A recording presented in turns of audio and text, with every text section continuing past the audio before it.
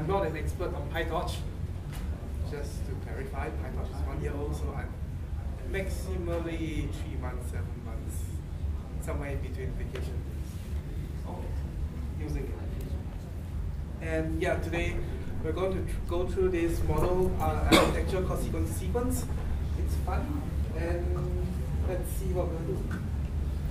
So who saw this problem from the post from Facebook?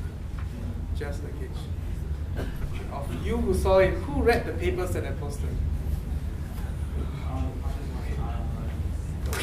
That's very little, but let's try to get through as much as possible. So um, there's this problem where you go to the coffee shop in Singapore and you're not Singaporean, you try to order coffee, you try to order kopi and you try to imitate the Singaporean. What you'll get is, oh, it's not, it's not this picture. So kopi is actually coffee with milk. It is not black coffee.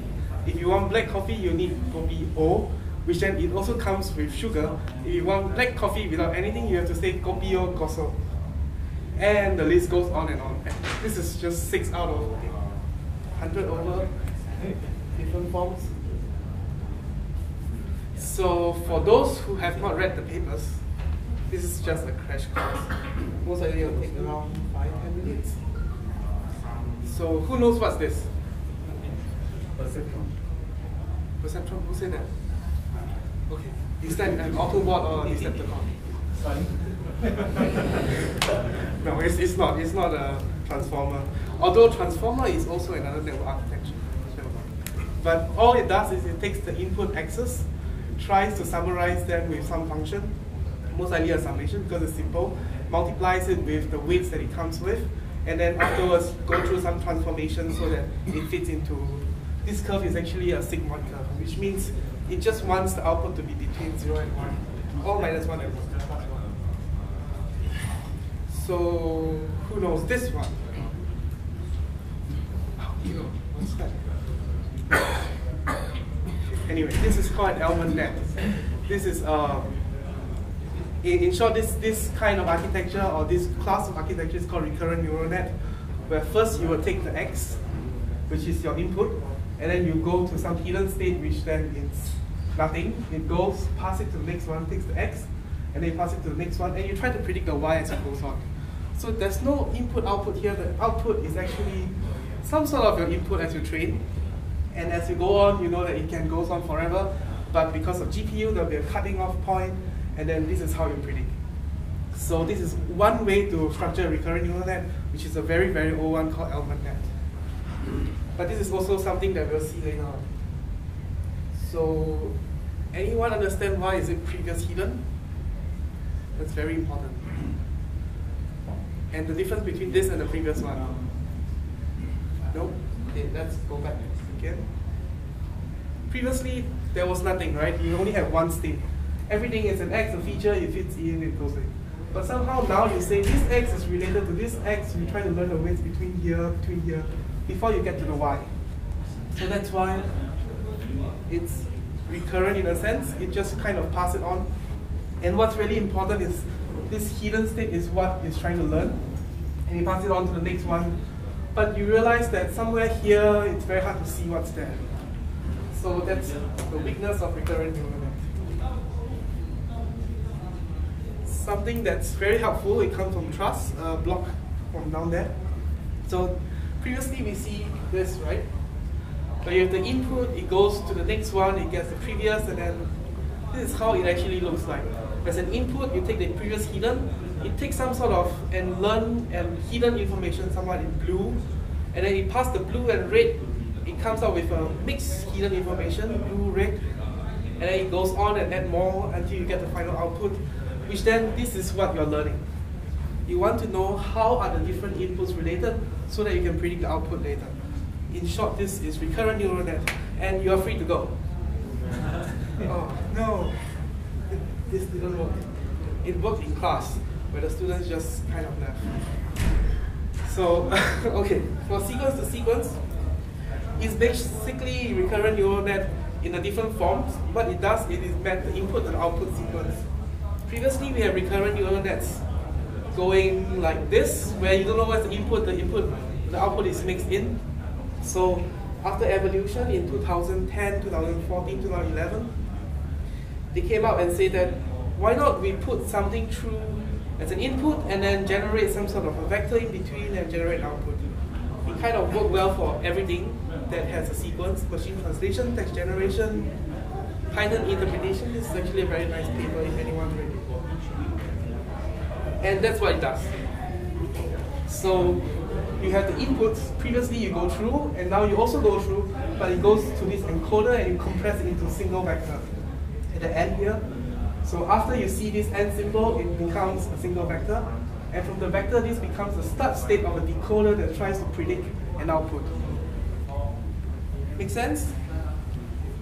Anyone lost at this point? No? Okay. Maybe this is too simple, then the code will be even simpler. Uh, yes, before anything, data munch. Because no data, you get nothing. Although, yeah, although we can't value the value of data, I think the value of data is priceless. yeah, scientists spend around 80% of the time just preparing data and managing data for analysis. That's what I do. And it's very simple to manage data. First, you take data from somewhere. You then throw in some pandas, S-frame, Dask, whatever, NLP library, get the data into some shape, then repeat until design. It's a nice recipe. So I have uploaded a very small data that I just copied from a few websites, as you can see. And then we have the local term, which is like te opo and kopi kata, which translates to black coffee with extra condensed milk. And that's what we want to do. So the left one is column uh, is our input and this is our output. And that's what we are going to do. So let's code. Am I going too fast? Am I going too slow?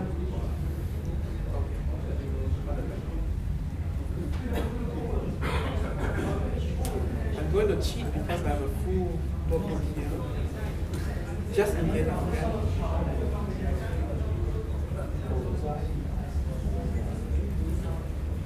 Well,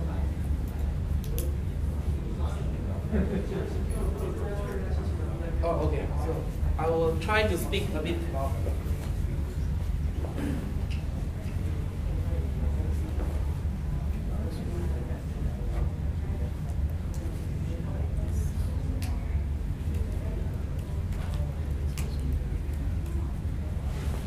Okay, actually, this slide is stopped, so- Uh, so for those who wants to try to do your coding, right, uh, Wi-Fi password is right behind and also in front. You hit the Wi-Fi password. Uh, it's TEMP EV then 4 NT.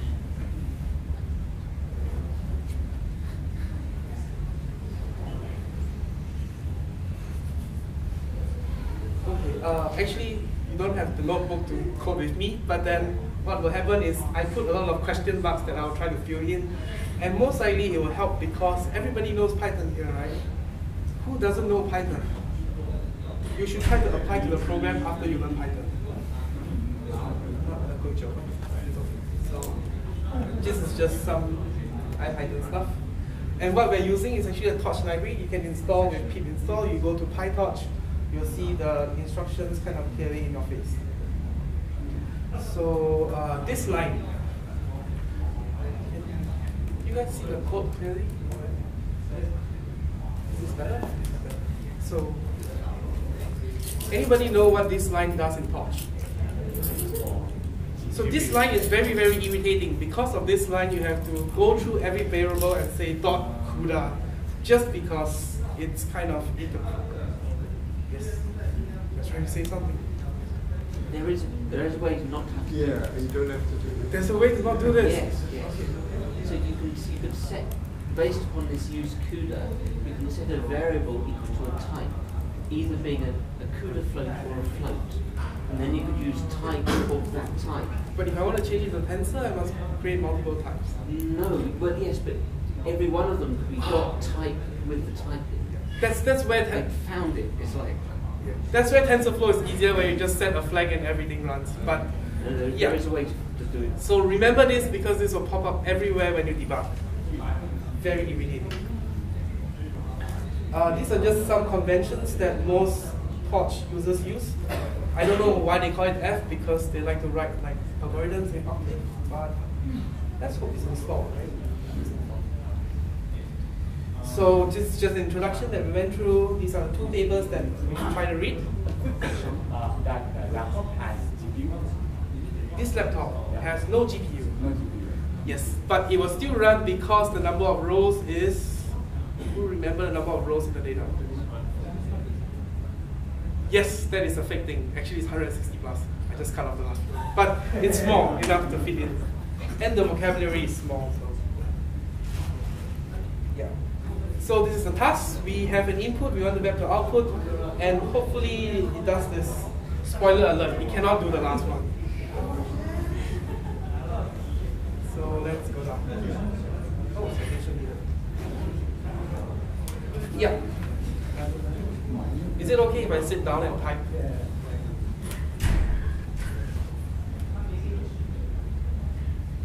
So um, using Gensim, this is actually a very nice library that you don't need to manipulate your own dictionaries and you don't need to do like bag of words to text.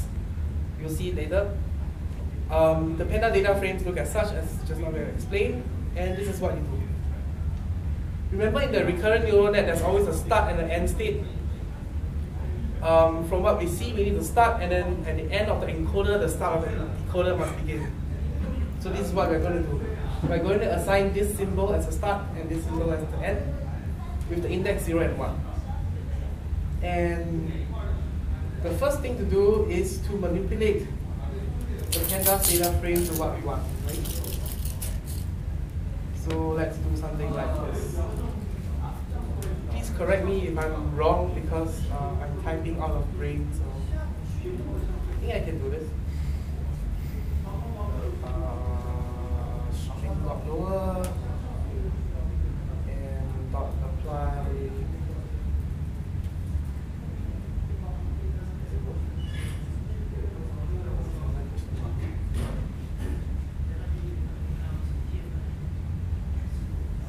We can call it mini.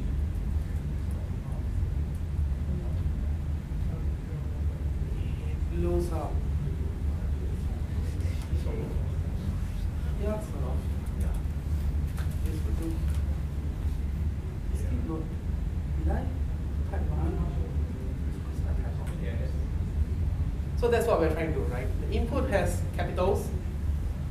The simplest way to manipulate your data is just to lowercase them. Although there's a lot more, you can refer to my Py, is it Python meetup or PyData? Python meetup talk, but yeah. The simplest way is to lowercase them, and then this word tokenize is a function from NLTK. Or you can use any tokenizer. In this case, you can actually dot split uh, spaces, that will also work. So the idiom is actually kind of simple. You have a data frame, the column. Because string.lower is a function, you can do this, and then reapply it. like. So uh, there's a lot of code floating around doing like this. Please don't do this.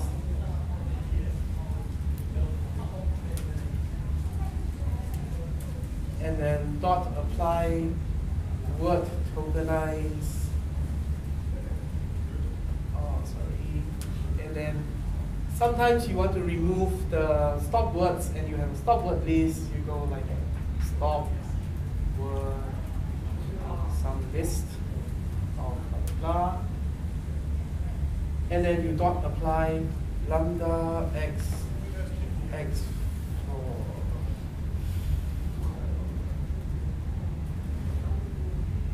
and word tokenize. Okay.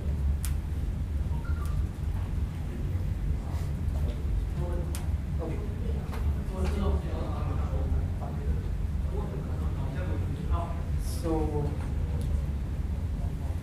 just for your information, this is the right way to tokenize and then remove the stop words. Some people have been like doing it multiple steps and doing apply again and again. Apply is actually a very very expensive um, operation, so try not to use it. Oh, oh, sorry, didn't look so low. Can I have a remove this? Yes. So, so yeah, the right way to tokenize and remove stoppers together at the same time, so that you don't don't use to apply. So yeah, that's all. That's what we get, right? We get a list of tokens, which is a list of words that we want, with the start symbol added and the end symbol. So the problem is, uh, this is very nice. Actually, you can feed this to a recurrent neural net. You'll accept it and says that this is very nice, uh, but then Torch will go kaboom because they like numbers and they don't like characters. So the first thing to do is to convert them into numbers like this. And that's where you use Gensim dictionary. this is a hack actually. So if we look at this, and I just add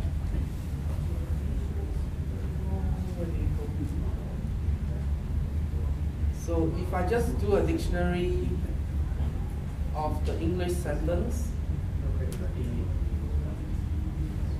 dot items, dot keys, dot values.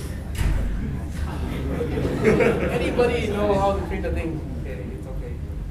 We'll get it. Okay. Dot vocab dot yeah. Anyway, let's let's just do this. So with the dictionary, you can actually fetch the word. So let's say zero, and then you have um, one.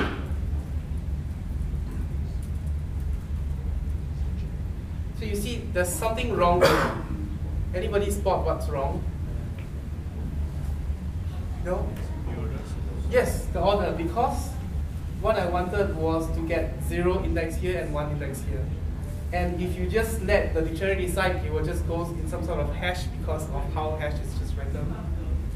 So one way to force it is to just to say that I have a document of one word with S and a document of one word with the N symbol and the unknown words. Okay, unknown words don't occur in this exercise at all, but then I'm just putting in for fun. And that's how you hack it such that um, if you do this, let's try it. And then afterwards you add in all the documents that you want, which is in the English sense. That still happens. No.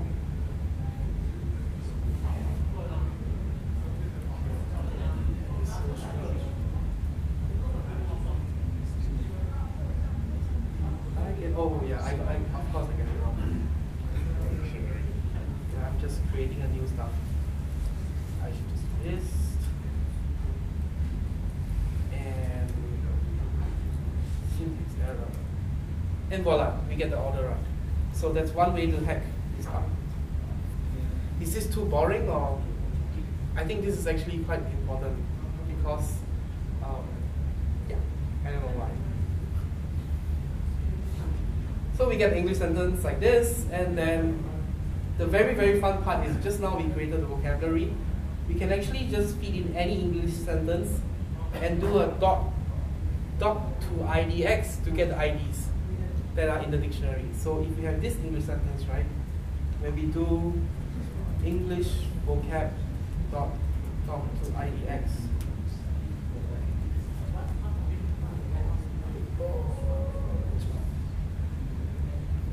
and I got all minus one because. Oh yes, who knows what is wrong here? Oh, because your dictionary you did not put any other word, right? Mm, Not true. Who knows what's wrong here? Didn't re-execute them.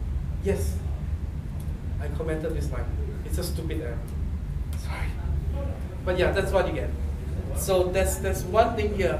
This is actually a very new feature. So if you can't do this and you see this attribute error, just do pip install dash u gensim, you'll get it. And we requested for this. Like this is very helpful. So now you can do vectorize. Like everybody's talking about vectors. But um, this vector is a list of integers, which is not very helpful because PyTorch wants everything to be a variable or some sort of a PyTorch data structure. So you need to convert it into this variable question mark question mark dot. Who knows how to solve this? I actually don't because I'm pretty sure it's wrong. Like there's some long tensor because it wants a tensor and then there's a I get it right? No, I'm gonna cheat. This part is the one that's not very wrong. Anyone knows what's wrong? No? Yeah, this is the part that uh, PyTorch should just remove the Python part.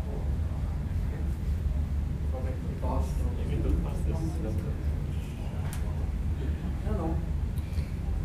Uh, Okay, so yes. It's kind of unintuitive. Why is it not there? And if you import all types, you're just going to mess up your namespace. So just remember this by heart or cheat like me. But never mind. Is this still very boring or interesting? Just check. Continue. And what we really want is to remember our inputs are pairs of sentences, the input and the outputs that we want to fit into the model. So that's what we want. And if I just add the send pair here, I should get something like this. Where there's an input and an output, it always starts with a zero, always ends with one, because that's our start and end symbol. And in between, it's some coffee, something I can't remember because I remember what's tree. Is always coffee. And yes, the sequence to sequence model. Um, the general idea is to take two neural nets and transform one to the other, and that's where the um, encoder and decoder comes in. The simplest kind of neural net you can code in, um, actually this is not the simplest because it's GRU, but a very simple encoder that you can code is just to take the input, put it through an embedding layer, then it becomes embedded, which is the output of the embedding. Feed the output of the embedding to the GRU, which is an RNN. Uh, I'm not going through what's a GRU, just imagine it's an RNN you see there with some superpowers that can remember. Yes, I'm going to hand wave all this. But remember this previous hidden, this is what makes an RNN an RNN, so this is very important. And what the RNN always produces is output and the hidden. So question, where does the output go? Where does the output go to the encoder? Uh, partly correct. Okay, for this case, it actually goes nowhere because it's very simple. Then where does the hidden go? Yes, I only hear a few people in front. I sense the aura, but yes, the the hidden. Hmm? The output, the hidden will be the encoding. The output will be the encoding, but it does nothing in the encoder yet, because it will just get passed on to the next one. But then it is the hidden that really move. So if we look at the slides, uh, we have the Remember, it's the blue thing that moves, and blue things are hidden for now. No, this is the answer. okay, so so where does the hidden go?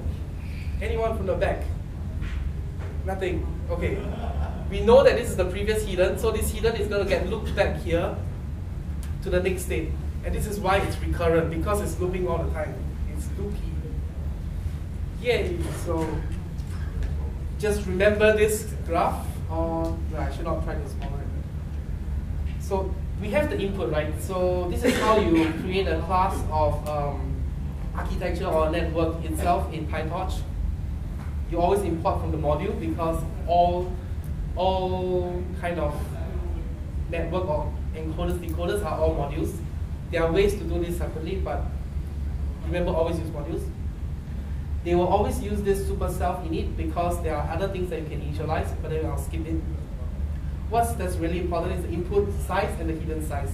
That's where you need to decide how many nodes do you need to put here. Can be 10, can be 20, it doesn't matter for now because we're only building the architecture. As we move on, we see that we're just taking in the hidden size and we say this network contains uh, hidden size of this, and then we have to create an embedding. Anyone know how to do really simple because this part is more Pythonic. So neural dot embedding, and embeddings take um, two things, right? It takes the input and the hidden. No, no. Yes, the hidden. Size. Blah, blah. This is how it's encoded, so it takes. And then if we go on, the GRU does the same thing. It takes the GRU and then input size. I think I'm wrong here. Anyone correct? Yes. Yes, that's where I'm wrong. No, no, it has to take the hidden size because that will determine. Oh, so so the input size is the number of words in your sentence. That's going to be the input size. The hidden size is the number of nodes in the embeddings. It has to know how many nodes are there. So it has to take the hidden size. In this case, I'm making the hidden size of the embedding and the hidden size of the GRU standard. But you can separate it out and say hidden size 1, hidden size 2. So I'm just being very lazy and I say hidden size. All size of hidden, um, all, all embeddings and hidden uh, layers are all having the same size for now. So does it make sense? So embedding always have a size. It could be size 1, it's still a size. Wait, it cannot be size 0, so it must be size more than 1. 1 or more. Similarly, remember when we move forward, our output and the hidden is just trying to move the GRU again. So I have self.gru, uh, which is here. And it takes the same thing, the input size and the hidden size. I have a question here. Yes. Uh, so uh, typically for NLP pipelines, you take the input and you change it to some embedding like word2vec or fast text. So what's the difference between word2vec, fast text, and this embedding that you do here right now? Yes, there's no embeddings in Word2Vec that will give you kopi O. no, that's a bad joke. But but uh, the, the thing is, is there's a few ways to get embedding, right? One is you can don't train this at all and make it fixed. But what I'm saying is I'm using the embeddings as part of the training to train a new set of embeddings for the given inputs that I have. Ah, So if you want to use fast text or glove or Word2Vec, what happens is you remove this and says all, all of these weights are fixed and you don't train them. then you wouldn't need the variable, you don't need the embedding layer, you just need to need, use, uh, I think pre-train layer or pre-train module, module.pre-train something. But that's, that's where you can replace this with something else. understand. Okay. And actually that's very fun. That's and then um, remember that we always start with some sort of hidden state. For now, let's just say we create a 1, 1 hidden size. Who knows what the size of this is? Sorry. Self.gru shouldn't be taking the embedding somehow Should be taking the embedding. and previously. Yes. Sorry. You are right. And the previous hidden. Yes. Anyone knows why? Nobody? Sorry, but let's go back again. So, it's very simple. Once you have drawn this graph, you just ask a professor to draw the graph for you. And then as an engineer, what you do is you make this graph into a code. So you put the input. So this is initialization, but then when you move forward, you need the output of the embedded, which is here, and the previous hidden, which is here. Sorry, I mixed that up with the initialization. So when you create embedded, it is going through the embedding, and then it just shapes it into a single vector. Anybody knows what's minus one? It took me 10 minutes and killed my brain. Nobody knows what's minus one? It's. Sorry? It's a it's a flexible size. You are not specifying any dimension. Yeah, why don't they use star question mark? Never mind. anyway, it's just very strange. So, it will never blow up because it doesn't do anything. It's a function, or uh, it's an object. So the de- decoder is a little more complicated because somehow the default tutorial at the ReLU, but then I'm going to skip it and I'm just going to tell you it's a nonlinear unit that we see in this slide here. This F here is just a transformation. You can put any transformation you like. You can alternate your transformation every other loop if you like it, but that's just going crazy. So most people just keep it fixed. Oh? So similarly, we have the same thing. Remember, the decoder is just some, some sort of extension of encoder, but then in this case, you have to predict an output. Just now, the output was pretty much useless. So the input goes into the embedding, it goes through the transformation, it gets to the GRU, takes the previous hidden, which comes from here, produces the output, which then these are just embeddings, they're just numbers, right? What you need to do is a softmax. A softmax kind of choose what is the best fitted for the case. So in the case of machine translation, you have the input vocabulary and output vocabulary. The output vocabulary is what you want to get the output here. So this, the softmax converts the numbers in the embeddings and then chooses the best fit and fit it to the vocabulary. Does it make sense? Most likely it doesn't make sense now unless you see the numbers or you have done this before. So we'll get through later. That's the really cool thing about PyTorch. You can just kind of inject halfway and say print something. You can't do that in TensorFlow unless you use eager mode that will never be deployed at some point. I don't know. But yes. Same thing, right? It's very simple. You get this graph from a professor, you just code. And it's like Torch for embedding. It's the same thing. Neural network embedding. I'm just going to write this. So this is kind of strange because in this case, in the input, we have the input size, that's our input, and the hidden size. But for the decoder, the input is actually the hidden size, right? Because it comes from the encoder. And then the output is going to be your output size, so you kind of swap it around. So you have your hidden size here, which is your input, and then your output size.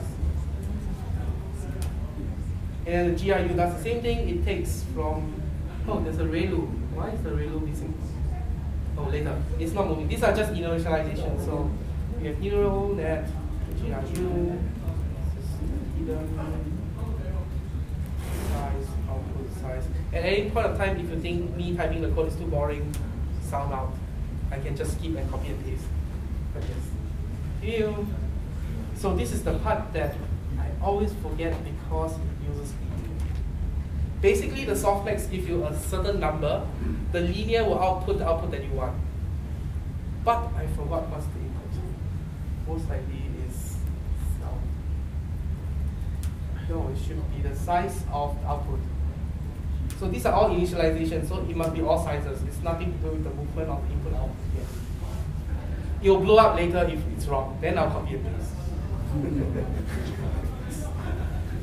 so uh, the graph again, we have embedding going to ReLU and then from GRU.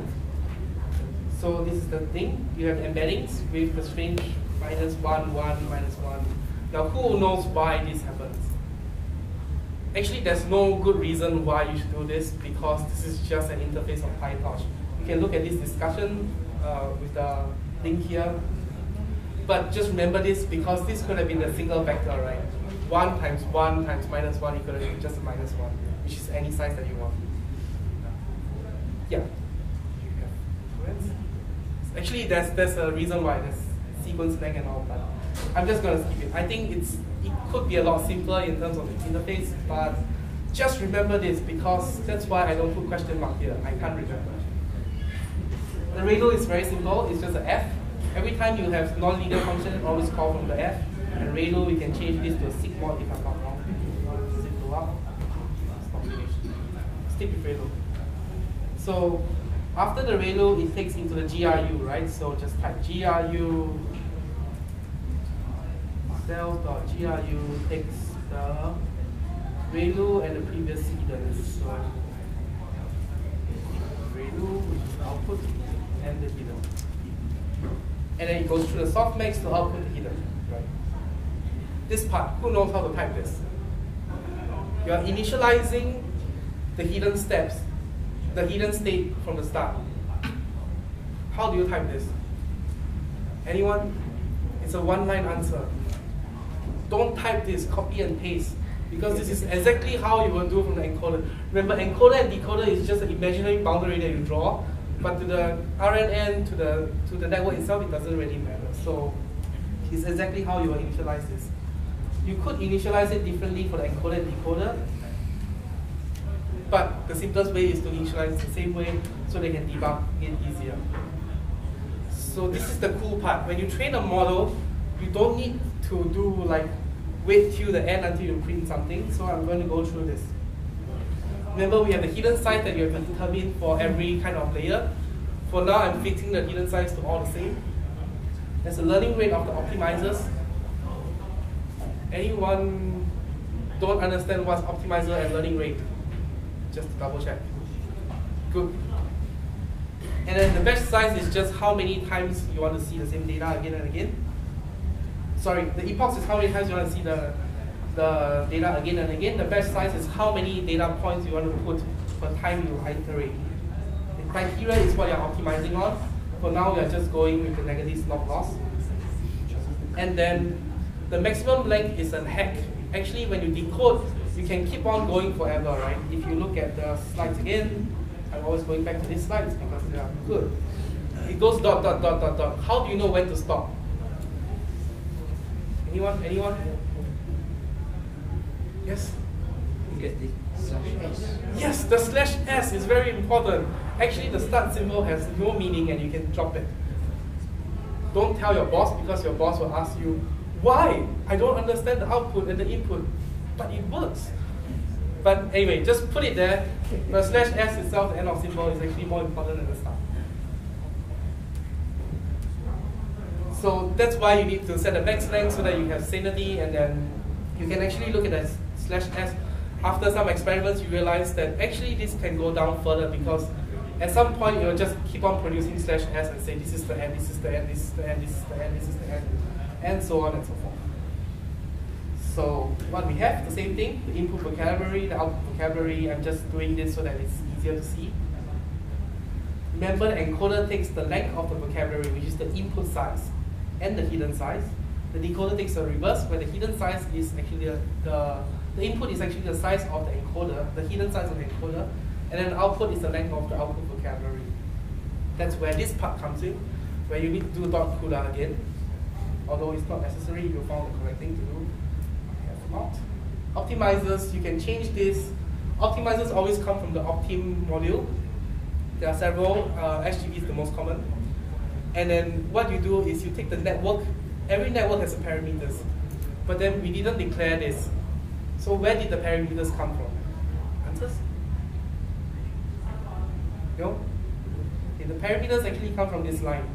super Super.init, it kind of created many, many things that you don't see.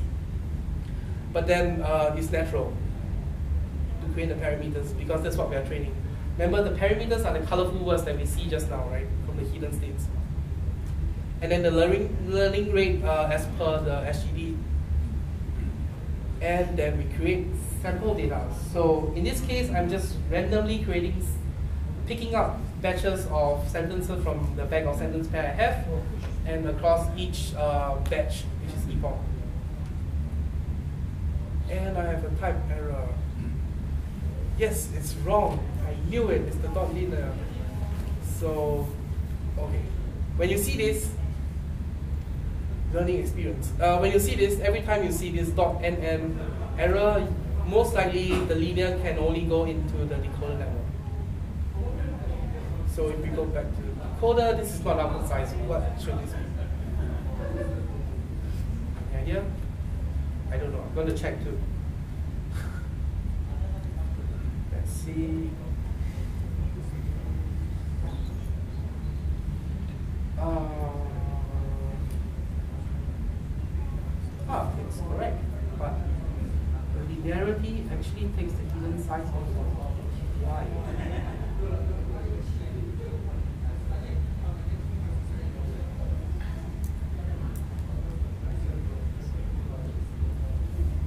Oh yes. So output size, I'm not sure why it takes the hidden size. I'm going to just leave it there first. It shouldn't blow up this time. But logically it shouldn't. Yeah, it works. So let's just add a line here. For sanity, understand what's in the training data. So the first one is a batch. This is the first batch. And this is the second sentence. Or the first sentence. We have a pair of sentences. Which is our something something kopi and this is strange. There's 25 here. Okay, never mind. I don't know why it translates. So when we do the training, it's just uh, trying to extend where it is here. So first we set the hyperparameters, then we start the training. Right? we iterate through the batches. For every batch, reinitialize optimizers because they should go back to zero. And then the log loss will be zero also because that's what we're calculating, and then we'll add it up later. And then um, here we go through each batch, which is the start sentence and the end sentence. In this case, they're called variables because PyTorch like the word variables. encoder hidden is wait, where's encoder from? It's input variable and variable. Yes. No, that's not correct. No. What should you do at the start of the encoder? Question. Random? Partly correct. So what should you do now? Okay, remember our this line here, we have this initialized hidden states that we don't remember. So that's partly correct. You can actually initialize it randomly, but for now we're just initializing zeros. So we should do uh, look through the matches. Encoder dot initialize state. And it doesn't blow up. And then we iterate through each state, right? Because this is just initialization and there's nothing going on. It's just initializing all the input states and output states.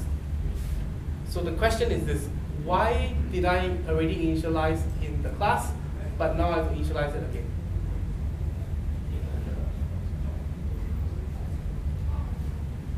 No? No? No answer?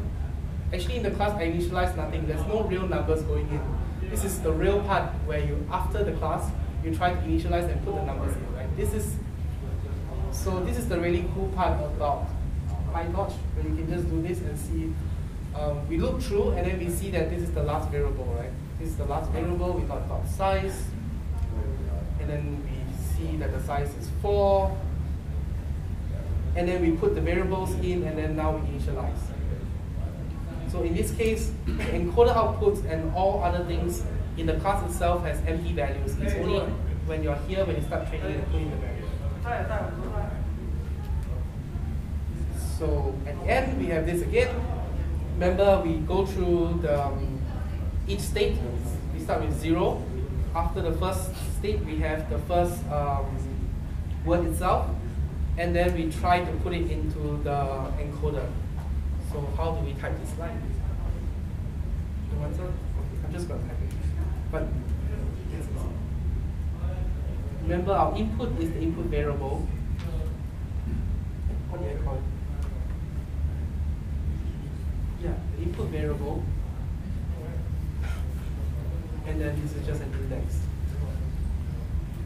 And I have the encoder hidden that was initialized here. Right? Remember our graph? The input variable is just the first word that we created here, that we read from the, the data.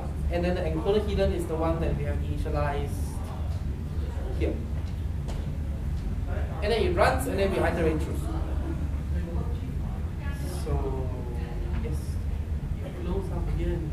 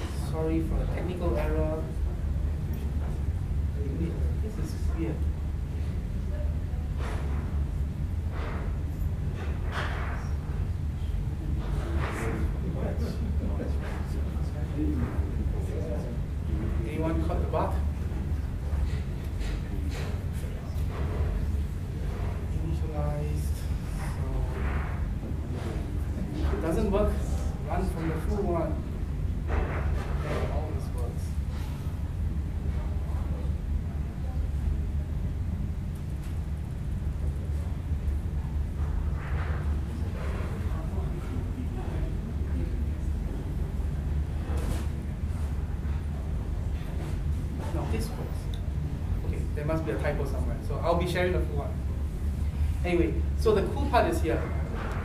Whenever we move along the states, we don't really know what's inside this encoder output and this this encoder hidden. What are they really? So if we just look through, at the end we have, we have already reached the last sentence, and then from the last sentence we can see this.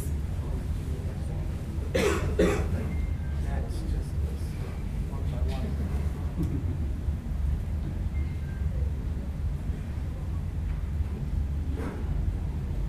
So in the last sentence, we see that the encoder has, well, this is just printing what's in the encoder.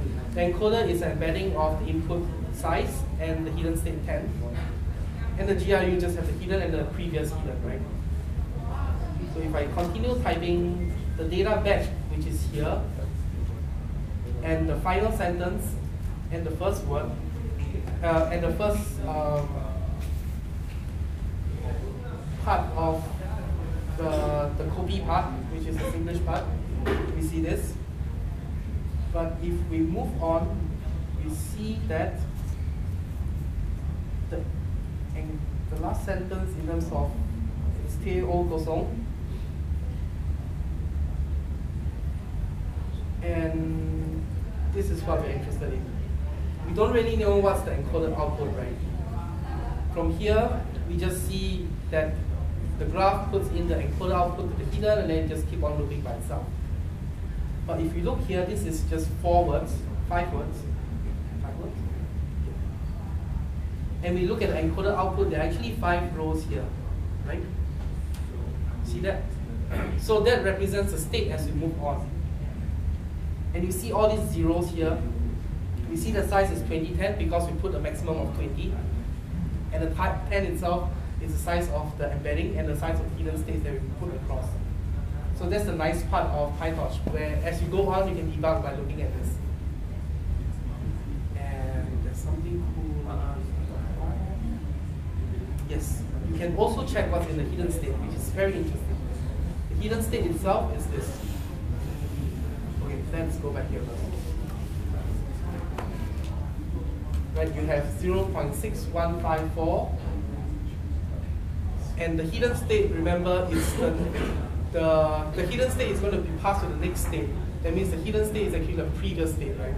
Kind of mind wrapping. But you see that the hidden state is the previous state that was existing here.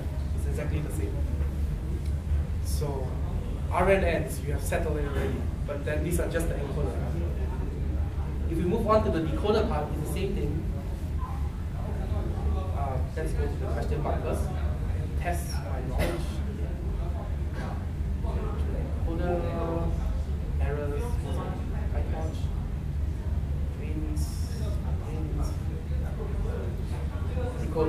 So after we print out, uh, after we encoded, we want to move on to the decoder itself. It's the same thing here. You need to initialize a variable where we use a strange part, touch of variable, and initialize the.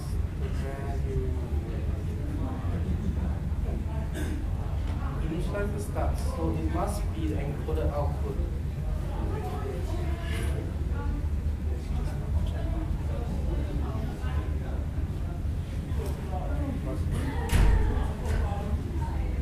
Oh, sorry. This is actually wrong.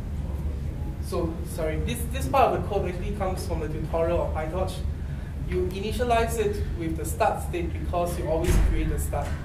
But actually this is not needed because you could easily initialize it with the output of the hidden state here.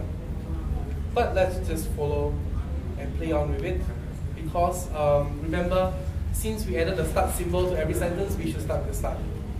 I think this was skip one and just say go on. And then you get the input. And remember this is where the decoder state is oh wait, why is this fill up? This should be the answer. Oh, sorry. Anyway, just go through this. That'll be easier.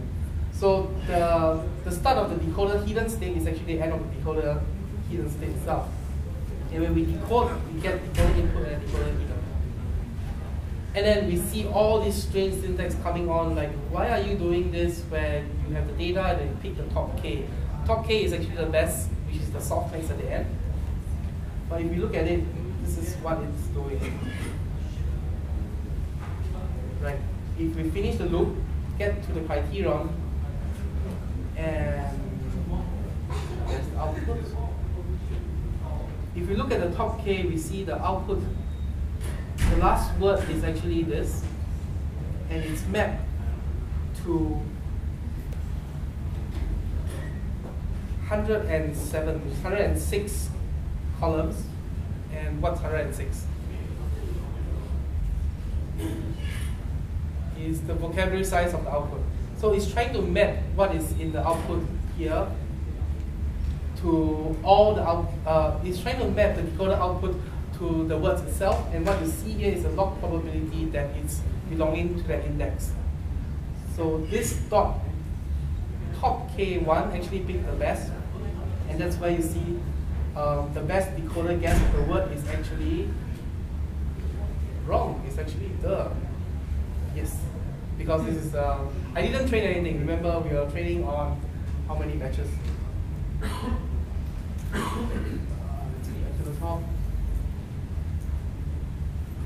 we're only training on batch size of 2 with 30 epochs, so that's like 60 times. So that's the coolest part of PyTorch. You can go home now. Anyway, let's finish this. So after you pick the best output, you update the loss criterion, and then when you see this symbol, you break, although you can continue, but it's senseless, so just break you propagate the loss backwards. See, this loss here is loss within the batch. Right? And then before the batch, your loss is zero. You back propagate the loss, and then the encoder and the uh, encoder and decoder optimizer need to step through to the next step.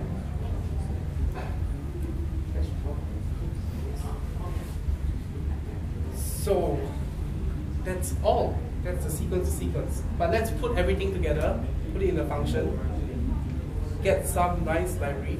Basically, I'm just printing out like how many seconds and how many minutes it takes to go through, and show a very nice graph.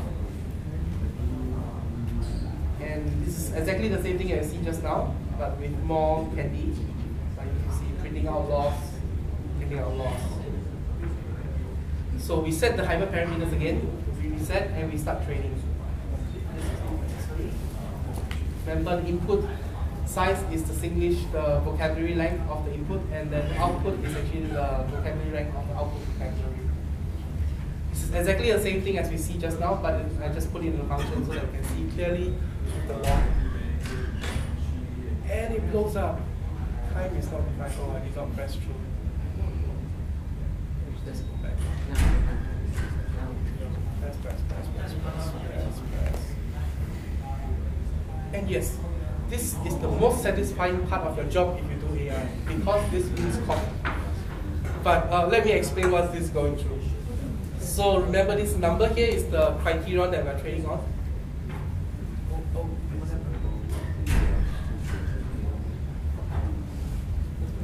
Okay, this is this is the criteria we are training on, which is um, the log loss, which I don't know why it became positive. I think because of the square. But anyway, so this is the loss. The lower it goes, the higher the accuracy of the system. This percentage is because I had a fixed kind of iteration and I say that you go through so many epochs, so many so many data points per batch. That's why you can calculate this easily. Normally when you train, you want to train this until your GPU breaks or AWS send you And it goes on and on, and then I keep on talking and get some coffee, so it will finish soon, I guess, at some point. You see it's getting lower, which is good. So yeah. Oh, wait, the graph is missing. Nice. That's the nice graph.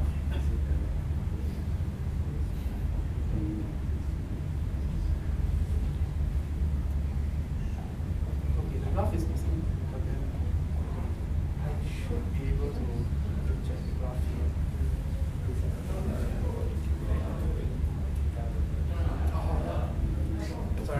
There should be a graph somewhere. I think I missed out something. I'm not going to retrain.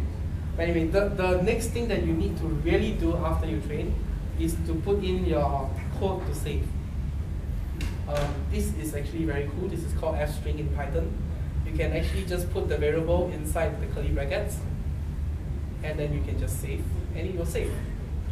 So getting the model to translate, now this is the part that you say, I'm just, a, I don't know, crook, and I'm telling you something, it doesn't work, it just shows the number. So let's go through this, because this is the last step.